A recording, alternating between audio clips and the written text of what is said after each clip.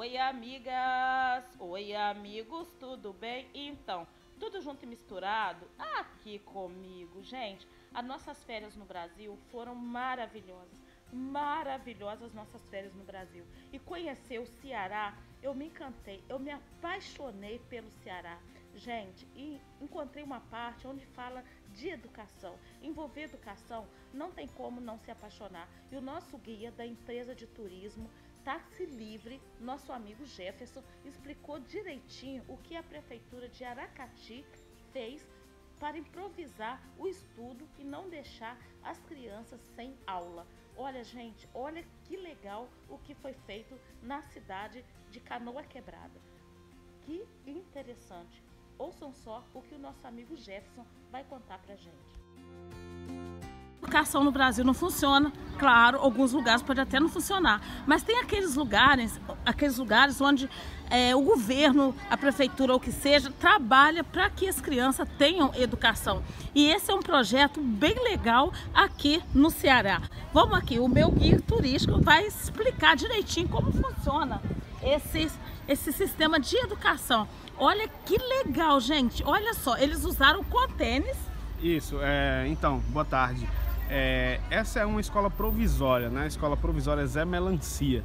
É são escola, uma escola que foi feita em containers, né? Todos eles climatizados, obviamente, né?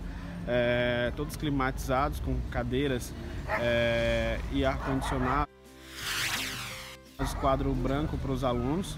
E qual foi a decisão da prefeitura em fazer essa escola é, provisória para tirar crianças que estavam na ociosidade que não comportavam na escola atual que tem aqui na cidade de Canoa Quebrada. Então a prefeitura de Aracati, visando sempre a questão da educação em primeiro lugar, que é fundamental, é, comprou esses contêineres, né, licitou esses contêineres e comprou e montou uma escola, equipou uma escola é, com farda, né, com fardamento, calçados e tudo para dar qualidade de ensino e não deixar as crianças na ociosidade, né? para não irem para caminhos errados.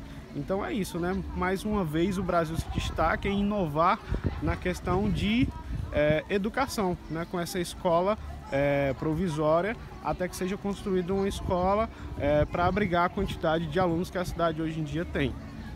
Obrigado, Jefferson. Então, gente, é isso aí. Temos também que mostrar o outro lado, o lado que funciona. Geralmente a gente só vê postagem que não funciona, mostrando, mostrando o lado o lado ruim do nosso país. Nosso país não é tudo isso que ficam postando. Vamos catar essa parte assim boa e vamos colocar em prática, gente. Olha só, com tênis, você pode ver com tênis, mas as crianças são educadas. Então, isso existe, isso funciona. Vamos mostrar esse outro lado, ok?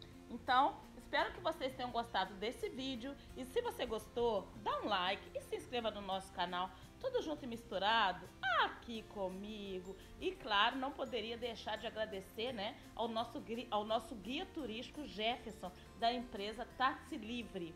Então, Jefferson, nosso muito obrigado pelo, pela oportunidade né, de conhecer esse espaço, pelos chaveiros com as iniciais dos nossos nomes. Foi um presente bem legal. Então, gente, para vocês o nosso tchau!